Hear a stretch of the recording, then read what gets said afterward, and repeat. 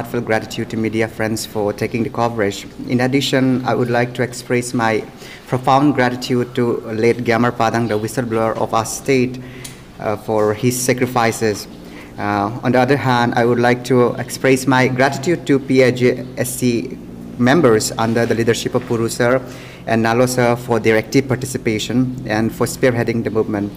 And all other social activists uh, like Sol Dodum sir and all other publics who were actively involved in this issue. Uh, the main reason behind coming here was to get update uh, and to make sure that the, uh, the issue is still on the track. Uh, we are just I want to highlight here that we are not a member of any organization. We are not a member of any union. Uh, we are just a common public We are aspirant uh, who are completely disheartened and dejected by the sorry state of nature and the present state of our state of our Arunachal Pradesh. Uh, we have uh, primarily we have come here to get some update on the working of uh, CBI. As we know, CBI is considered to be as the premier investigating agency in our country.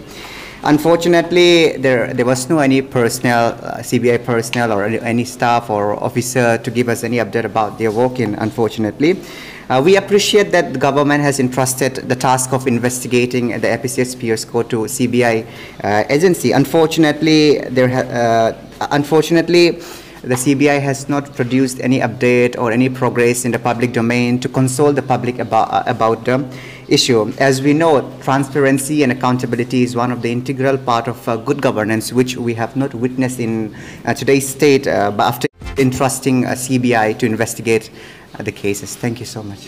देखिए हम लोग सब तो देख ही रहा है क्या अ, चल रहा है नस्ल में तो गवर्नमेंट से मैं एक एक क्वेश्चन रहेगा जो सी लोग दिया है ई दिया है, उसके लिए थैंक यू लेकिन जब से देखा है सी लोग ई लोग जब से आए, कुछ काम नहीं कर रहे ना। कुछ काम नहीं कर रहा है देखा जाए, एक तो भी अभी तक शायद एरेस ही नहीं किया है। और एक रिक्वेस्ट रहेगा गवर्नमेंट से, जितना देतीनी से उसको आप लोग रिलीज़ करने, कर देने से ठीक है। और ये इशू जो है, ऐसा नहीं लगना कि ये इशू ख़त्म हो गया। ये इशू चलते रहेगा ना। जब तक हम लोग है और हम लोग का आने वाला पीढ़ी भी ये इशू को शायद जब ख़त्म नहीं वो चलते रहेगा। और हम लोग आएगा जाएगा ना लेकिन ए ऑफ़िस जो है हमेशा लाइफ टाइम के लिए रहेगा। इसके लिए हम लोग इसको थोड़ा सोच को बदलने से ठीक है गवर्नमेंट से मेरा ये अपील रहेगा। हाँ। हम लोग एक्सपेक्ट ये करते हैं कि जल्द जितना हो सके जल्द से जल्द आयो लोग को जितना आयो है इसमें ऑफ़िस सिटिंग करा दीजिए बता दीजिए प्रॉपरली इन्वेस्टिगेट करने के लिए। जब से जब भी देखता है मीडिया में आज तो हम लोग तो फ़र्स्ट टाइम विज़िट किया है नहीं बोलेगा लेकिन जब भी देखता है सीबीआई लोग रहता नहीं है यहाँ में। आज भी हम लोग वही इंक्वायरी करने आता लेकिन ये एक्सपेक्ट रहे कि अगर गवर्नमेंट जो है इसको थोड़ा और मोनिटराइज कर देगा ऐसे लग सर आपका नेक्स्ट स्टेप क्या होगा? जैसे कि आपने अभी सी ऑफ़िस में तो आया है पर कुछ फ्रूटफुल रिज़ल्ट देखने को नहीं मिला। तो अभी आप क्या स्टेप लेगा? नेक्स्ट स्टेप तो क्या हम लोग बाद में डिस्कस कर लेगा नेक्स्ट स्टेप क्या है, उसको तो नहीं बता सकेगा। लेकिन जो भी हो गुड स्टेप स्टेप तो सही वाला ही लेगा। ऐसे नहीं कि जो डिग्रेटिवली दिखा देगा, ऐसा तो कुछ तो नहीं लेगा। हाँ जब तक हम लोग का जो अभी जो हम लोग का मतलब अपडेट नहीं मिल रहे ना, जब, तब तक हम लोग आते रहेगा। बीच बीच में हम लोग चेक करने आते रहेगा सीबीआई को। और गवर्नमेंट से हम लोग ये रिक्वेस्ट भी करना चाहेगा कि आप लोग हो सकने से कि सीबीआई ऑफ़िस को मतलब गुवाहाटी से यहाँ में वो कर देने से ठीक है। ईटानगर में ना मेन को सेंटर को कर देने से ठीक है। क्योंकि जब जब हम लोग आते हैं तब तब बोलते हैं कि गुवाहाटी गया है वहाँ गया यहाँ गया ना। तो हम इस तरह से कभी हम लोग अपडेट नहीं मिल पाएगा।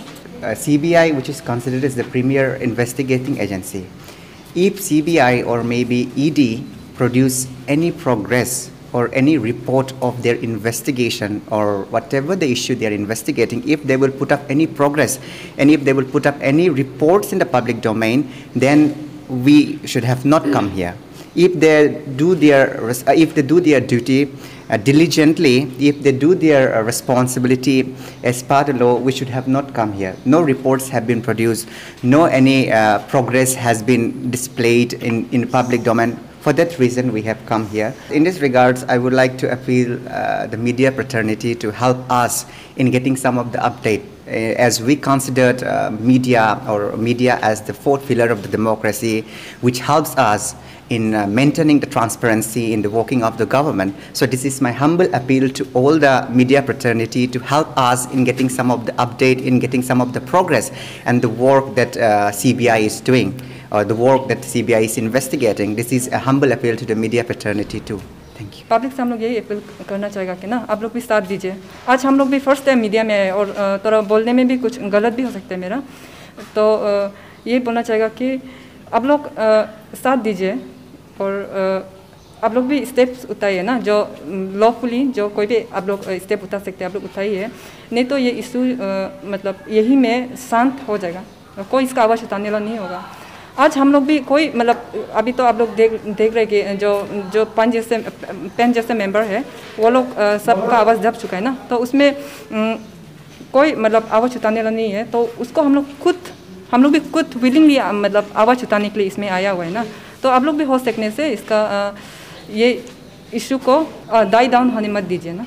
उसका बाद पेन जैसे जो मेंबर है, और पुरुष सर, नालो सर और जितना एक्टिविस्ट है, उसको दिल से थैंक यू और आप लोग को हम लोग पूरा रेस्पेक्ट करके बोल रहे हैं ना, जो आप लोग, हम लोग के लिए इतना सेक्रीफाइस कर दिया है और अभी जो डिटेनिस है, जो जो हम लोग के लिए इतना सेक्रीफाइस कर दे रहे हैं, उसको दिल से थैंक यू बोलना चाहेगा।